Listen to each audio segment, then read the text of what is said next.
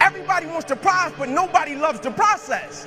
Everybody wants to be a champion, but nobody's willing to put in the work that it takes to be a champion. Everybody wants to hold up the trophy and say, man, I did it, but nobody's willing to put in the work that it takes to do it. I love the process. I love the thought of working for what I want. You're never supposed to wish for it more than you're willing to work for it. Your expectations never supposed to exceed your effort.